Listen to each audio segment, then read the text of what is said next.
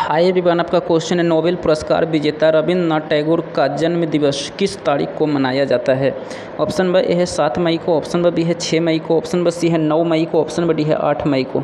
तो आपके इस क्वेश्चन का ऑप्शन ब सी करेक्ट आंसर हो जाएगा नौ मई को। So thank you like share subscribe so thank you